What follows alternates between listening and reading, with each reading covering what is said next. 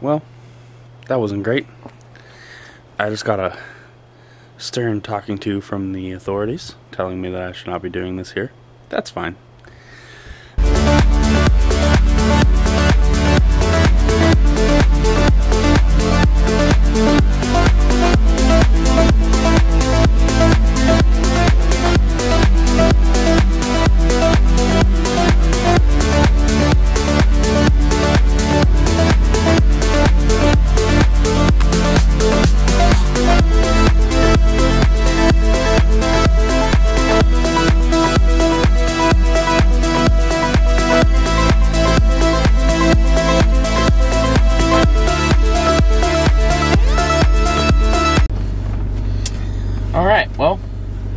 Just filmed last episode about introducing the Toyota Sequoia to the fleet, and then I got surprised with a little bit of extra money. I sure love getting surprised with extra money. Extra money is always sweet. So, I've had the next step of the Ute on hold for a couple weeks now. Just been too broke to really pull the trigger. Uh, but I have those brand new wheels, and I've been just dying to get them installed and mounted up, but I didn't have money for tires, and been waiting, but I got this extra cash, so that's what I'm gonna go do. One of the things that kind of sucks about living on a mountain like I do is that uh, anytime you want to do something car related, it typically includes driving a long ways. Uh, the tire shop that I'm going to to buy my tires from is like almost two hours away cool. So I'm gonna spend half the day driving down there, getting some tires mounted, and driving back. But uh, I, it, the good news is I'll get my sweet new wheels mounted up. I'll probably do that in town and then drive home on them. So I'll get to get some beauty shots of how they look. Right now they are in the back of the Ute. And uh, one other quick update. The other day, I was on Facebook Marketplace and I found a set of uh, Integra GSR leathers for like 45 bucks. And that's what I'm sitting on right now. If you're not familiar with these seats, they are pretty much the most comfortable and sought after Honda seats of all time. They are amazing. If you can find a set in really, really good shape, they usually run between five and eight hundred dollars. This set uh, they're a little torn up. There's some damage on the driver's side seat specifically, like you know the bolster's a little torn, the the butt is a little torn, but I don't care. It's for the Ute, and these are so much more comfortable than the stock Honda seats that this was a major score, and I was really stoked to throw these things in. Got a bunch of stuff on it right now, but they even match the uh, the interior of the Civic pretty well, which is great. Um, they don't quite bolt directly into an EK Civic. They do bolt directly into an EG Civic, but on the EK there's one bolt hole that is not quite correct. But you can pretty much just drill a hole in the floor and put a bolt through it. Right now I have the seats in with three bolts. Uh, I will get around to drilling that hole and putting the extra bolt in. It's just not been a high priority. But yeah, little updates here and there on the Ute, doing little things, kind of make a big difference. More comfortable seats and uh, brand new wheels one of those things that it's not exactly a big time consuming thing. It's just, you know, throwing extra money at it and having to make these extra drives to go pick up the things when I want them. But uh, well worth it in the long run. So, yeah, let's get this show on the road and head down to the tire shop. All right, well, I'm on a random parking lot in Hillsboro. I just got done at the tire shop. He didn't want me to film there. I don't blame him. It's business, doing stuff. Uh, nice guy though, Hillsboro Tire. If you ever need tires and you're in the Hillsboro area or not in the Hillsboro area like me, check out Hillsboro Tire. They have a ton of used tires. I mean like more used tires than I've ever seen in my life. These things are like brand new. I don't know if you can tell, but they are like the, the thread on these. Man, it's good. Good tread. So yeah, uh, I'm gonna jack up my car and slap them on right here in the middle of a Rite Aid parking lot because I want to drive home on them and then see how they feel and I'm too excited to wait. So yeah here we go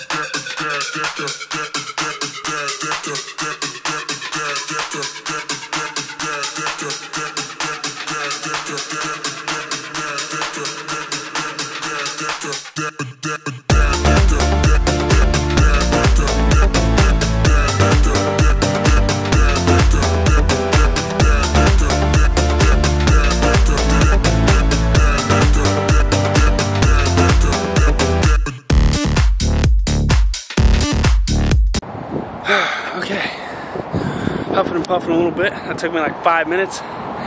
In the words of a great, great man, would you look at that? Would you just look at it? Yeah, I'm very pleased with this. They look fantastic. It's starting to rain a little bit, so I'm not gonna sit here too long and ogle over it. But I, yeah, that's I'm really happy with that. It's just what I wanted. I hope it drives as good as it looks. We're gonna find out right now. And uh, yeah, uh, I scared off at least one person in this parking lot who was like, well, I'm gonna go park somewhere else. That's fine. Crazy guy out here changing wheels at Rite Aid. I'm gonna take some pictures and uh, take off.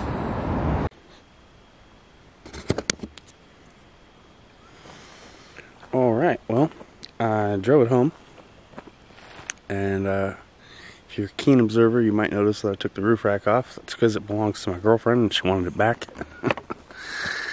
um, I will say that uh, it is rubbing up front. I think right here, right there. Um, it still has all the plastic guards inside, the inner fender wells, and uh, the front bumper underneath guard and stuff. So I want to jack it up, take all that stuff off, and see if that alleviates the rubbing issue. It wasn't that bad. Uh, it's mostly just if you're at like full lock turning and hit bump type of thing, or if you're at full lock in reverse, it rubs pretty bad. But uh, overall, I'm really happy with the wheel and tire setup now. These look awesome on here. And uh, yeah, just gonna keep finessing it a little bit until we get it perfect.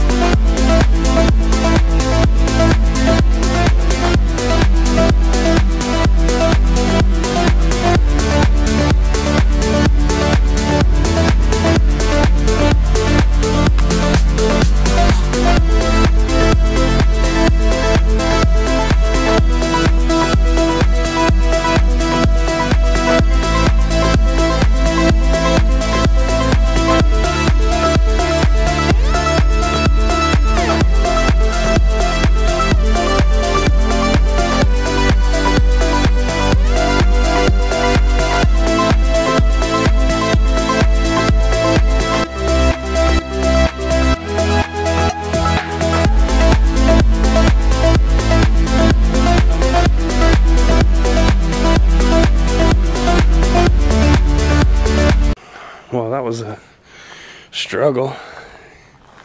I actually reached a point on this thing where my little jack will just just barely get it off the ground. Not not really very well and not high enough to get the jack stands to where they're high enough that when you let the jack out it's still sitting on off the ground so I had to go score a couple pieces of board. I think I might keep those with me in the car keep them handy for if I need to change a tire or anything because if I happen to be on an incline it's a good chance that jack is just not gonna get it off the ground at all. Might be time to buy another jack. Uh, I bought that thing. It was real cheap at Harbor Freight and I like it.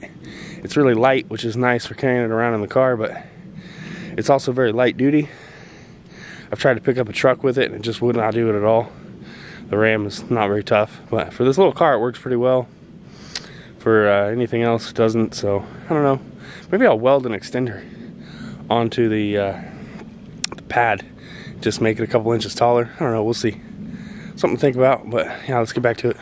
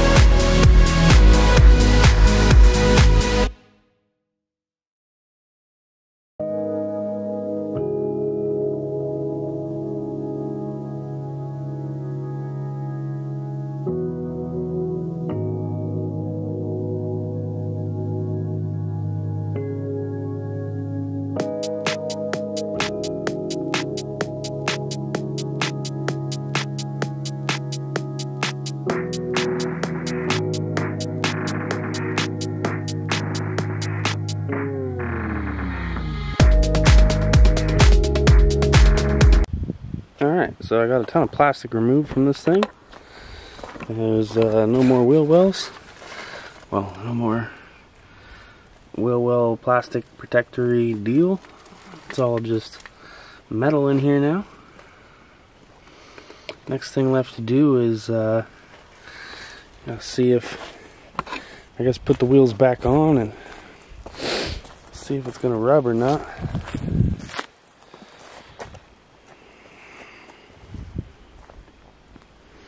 Been thinking about maybe taking the front bumper off. Can't decide. I kind of like having it on. It makes it look like a, a lifted car and less like a, you know, just something all hacked up. But uh, I don't know. Tell me what you think in the comments. Should I take the front bumper off? Should I leave it alone? anyway, I'm gonna throw the wheels and tires back on this thing, put it back on the ground, and maybe take it for a test rip. See how it does.